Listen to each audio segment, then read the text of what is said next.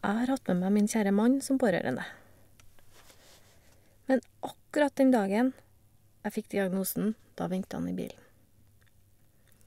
Da jeg kom gående, så var jeg helt alvorlig, og jeg satte meg inn i bilen og sa jeg har kreft. Han ble helt stille. Han sa ikke et ord, og kjørte hjem. Og jeg spurte etter hvert hva føler du? Han ville ikke gråte, han ville vise at han var sterk og støtte meg. Ja, litt sånn typisk mann. Men etter det så var han med meg hele tida. Han fulgte meg til Bergen som ledsager, han var med meg inn til legen. Han var med meg hele tida. Jeg var veldig glad for at det var sånn. Barna var ikke med. Min eldste datter bor langt unna, det samme gjør en av sønnene mine, men har en sønn som bor her i byen. Så jeg sendte dem beskjeden på e-post, og de følte seg veldig langt unna. Og spesielt min eldste datter. Hun ville komme, men jeg sa nei. Du trenger ikke det. Jeg har tenkt på det senere at jeg var så sterk den gangen. Jeg ser jo at det var veldig positivt, og at det hjalp meg. Men jeg tenkte så mye, at det var på øyet, og at jeg kunne bli blind. Jeg begynte å forberede meg på å miste synet på et øye. Så tenkte jeg jo at jeg ville jo fortsatt ha syn på det andre øyet, og det ville jo hjelpe. Så det var sånn jeg reagerte, men det gikk heldigvis bra.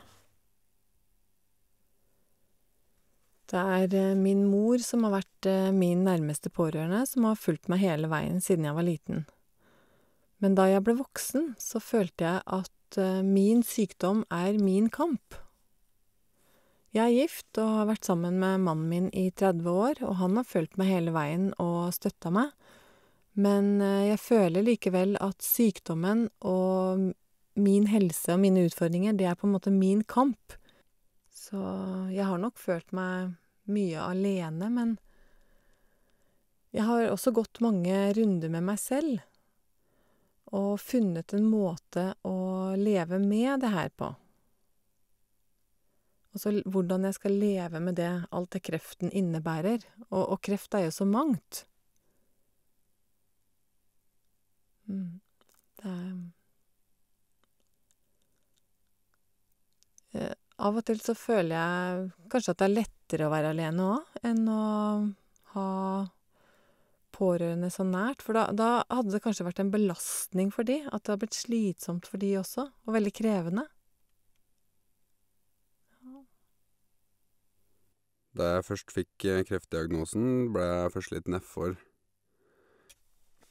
Jeg tenkte ikke så mye på at det kom til å bli smertefullt, men jeg begynte å tenke på at ja ja, jeg er 73 år, så skal jeg tross alt være fornøyd med det. Men legen forklarte at det ikke var nødvendigvis sånn det skulle skje. Nå er kreften i et begrensa omfang, lukka inne på et vis, så det her kan jeg leve fint med resten av livet. Det er ikke sikkert det er det her jeg skal dø av. Så etter en stund, når vi hadde snakka litt sammen, så begynte jeg å se litt annerledes på det. Jeg tenkte at vi får samarbeide vi to, da, jeg og kreften. Så jeg gjorde litt endringer i kostholdet, spise med grønnsaker, frukt og litt sunnere mat, og tenke positivt. Og så må jeg spøke litt med kreften innimellom, da, ha et godt forhold til han. Han er ikke så farlig, sa legen, så da ser jeg positivt på det. Så du har blitt venn med kreften? Ja, jeg er blitt venn med kreften. Da jeg fikk vite at min samboer fikk diagnosen lungekreft, så gikk det helt i svart. Jeg hadde ikke trodd at det var så alvorlig, men han skulle få begynne med cellegift allerede neste mandag, og når vi kom hjem, så begynte jeg å tenke.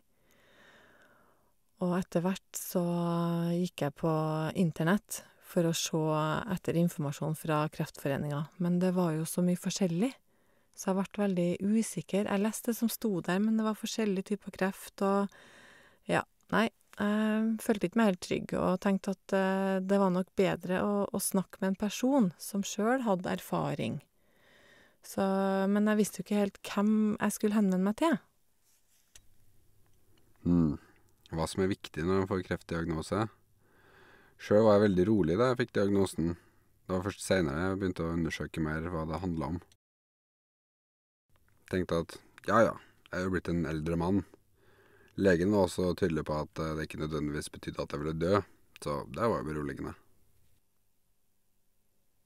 For meg så var det viktig å beholde det normale.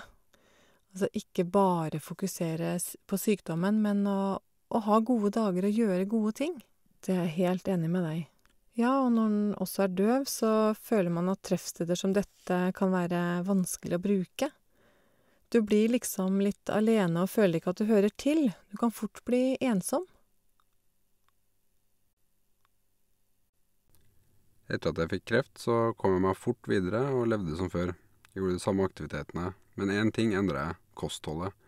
Jeg spiser mer grønnsaker og frukt og Eller generelt spiser jeg sunnere av kreften. Så du føler deg frisk?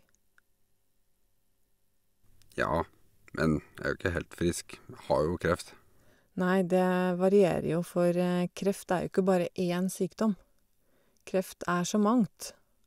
Og det er veldig individuelt hvordan en føler det, og og noen er jo alvorlig syke, mens andre er ganske friske, men blir syke etter behandlingen, så Min kreft er jo lukka på en måte, men hvis den skulle åpne seg opp, så blir det noe helt annerledes.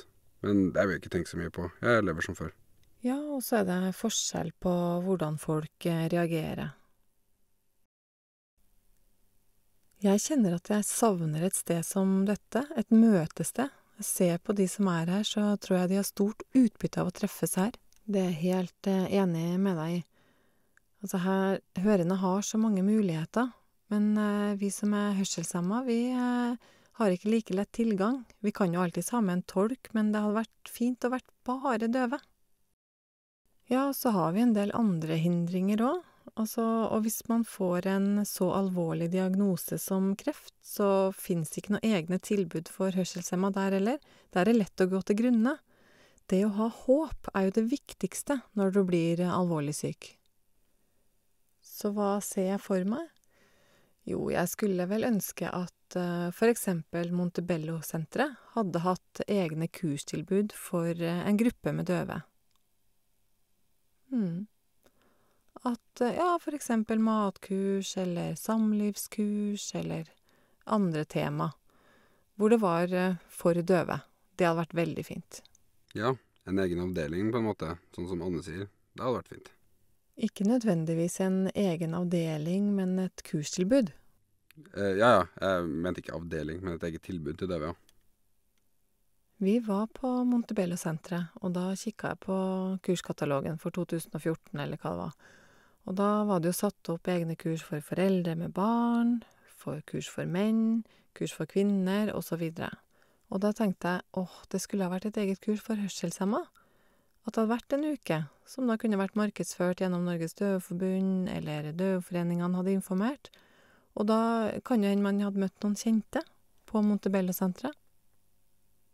Men mulig da det måtte vært en sånn sammensatt gruppe, da med ulike kroniske sykdommer eller Ja, for for døve kan jo ha andre sykdommer òg, og vi er jo så få, så kanskje kreft hadde vært litt smalt, men ja, kanskje man kunne åpna opp for flere.